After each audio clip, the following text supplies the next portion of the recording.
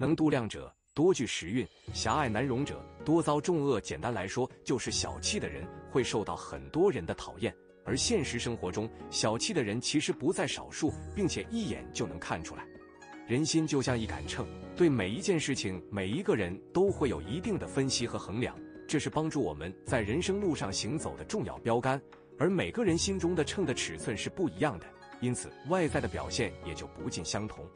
一个小气的人很容易被看出来，因为他们的身上往往会有这四种表现。对他们自己的人生有阻碍，而且在人际交往方面也会受到别人的厌恶，是需要克服的。欢迎订阅酒窝谈国学，每天与你分享新知识，千万不要错过下期精彩。做事缺乏眼光和决断，为何轰轰烈烈的项羽最后会失败呢？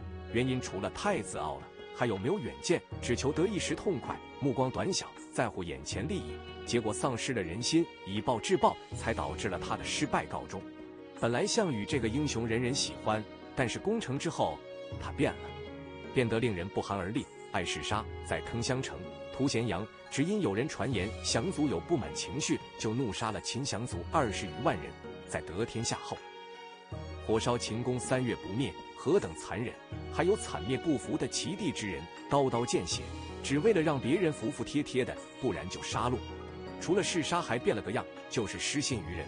违背了先入关者为王，把先入关的刘邦赶走，得天下只把好的给德心手下，分封不公，引发诸侯混战，导致自己疲于奔命，还把楚怀王杀于江中，背上了千古骂名，不得人心，给了诸侯起兵的理由。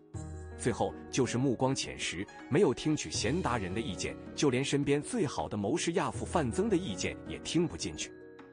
在鸿门宴上，范增见项羽不作为，气得说：“哎。”不能和这帮无知的小子共谋大事，夺取项王天下的人一定是沛公。我们这些人将要被他俘虏了。由此可见，范增谋士有很深的感知，知道此人不除，日后壮大起来必吞天。汉王三年，项王、项羽多次侵入甬道而夺取汉军的粮食，汉王军粮困之，感到恐惧，要求与楚和解，华割荥阳以西地区为汉国的封土。项王想同意。但范增劝说，汉军很容易对付，现在如果放手，将功亏一篑。于是他们派兵包围了荥阳。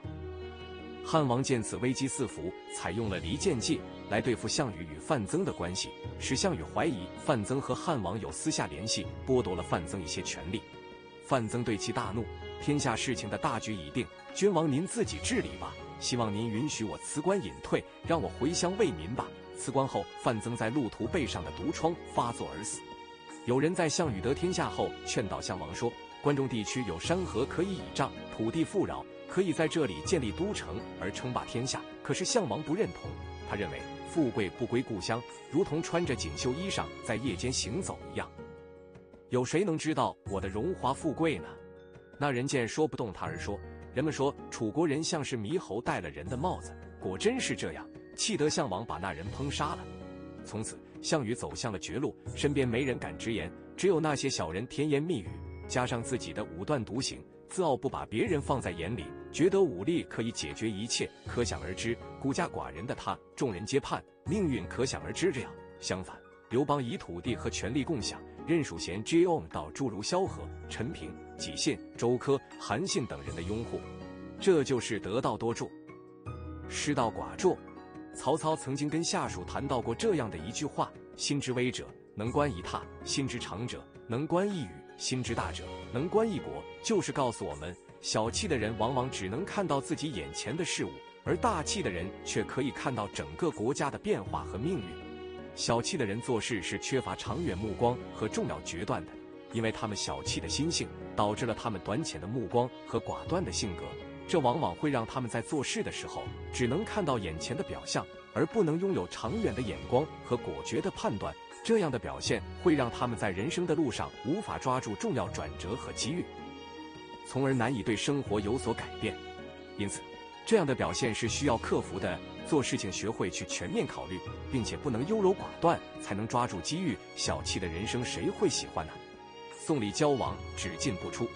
缺乏眼光和决断只是一方面，还有一个表现也需要克服。俗话说：“来而不往非礼也。”人际之间的礼仪来往是永远都无法绕开的课题。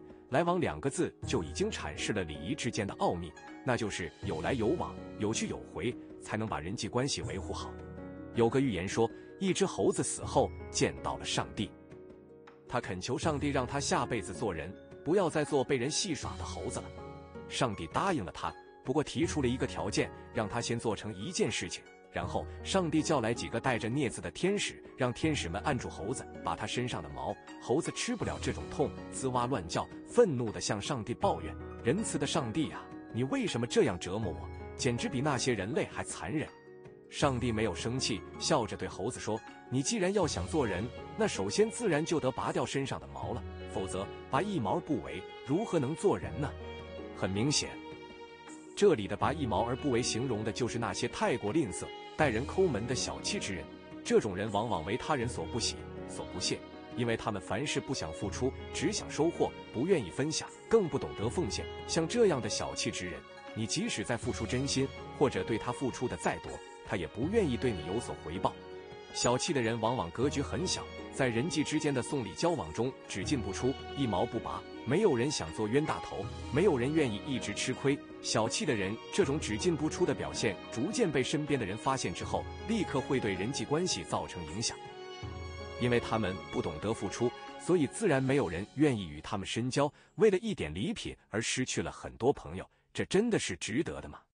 因此，这样的行为一定要改正，学会付出，不要把鸡毛蒜皮的小利益看得那么重。朋友的价值远高于这些外物。做人要知来往，才能守情义。聊天总是鸡毛蒜皮，小气的表现不仅仅体现在做事和与人来往中，日常的谈话中也能体现一个人的性格。小气的人因为那份狭隘的目光，以至于他的眼睛总是游离在生活中鸡毛蒜皮的小事情上面，并且会为这些东西斤斤计较，而本人却乐此不疲。聊天永远都是这些话题。一个人的谈吐和关注的事物，决定了他的格局。如果与一个小气的人聊天，那么话题永远都会围绕着那些毫无营养的鸡毛蒜皮展开，这种交谈是毫无意义的。所以这也会让很多人厌恶这种交流方式，自然朋友会越来越少。因此，小气的人一定要懂得改正这样的行为，把注意力转移到其他的有意义的事情上面，而不是纠结于鸡毛蒜皮，这样才能打破这种局面，让别人更乐意于跟你交谈。喜欢背后说别人坏话，当然了。除了以上的几种表现以外，小气之人还有一个十分重要的特征，就是喜欢在背后说别人坏话。因为小气的人往往心眼都很小，相对来说十分记仇，因此别人哪里触犯到了他，往往都会被记在心里。虽然不会当面表现出来，但是会在背后说别人的坏话。背之毁我者，贼也，不可与也。很早的时候，我国的古人就已经对背后说人坏话的人表达的强烈的不认同。天下没有不透风的墙，背后说的坏话很有可能会传到当事人的耳朵里，而且很多人也对这种行为十分的反感，久而久之，自然就会有诸多矛盾的产生和许多朋友的离去。因此，这种行为是一定要去改正的。有什么当面说清，不要在背后说别人，这样才是真诚的。在聪明人的眼中，小气的人是一眼就能看出来的，因为他们会有以上那四种表现。而这些表现一定会对他们的生活和人生造成影响，需要改正。每个人的活法都是不一样的，有的人把生命理解为互亏互叹，小气至极；有的人把生命诠释为大地长天，远山沧海。你的性格决定了你的格局和成就，是影响一生的因素。你身边有没有这种人呢？欢迎大家跟我一起在评论区交流，记得点击订阅，不要错过下期精彩。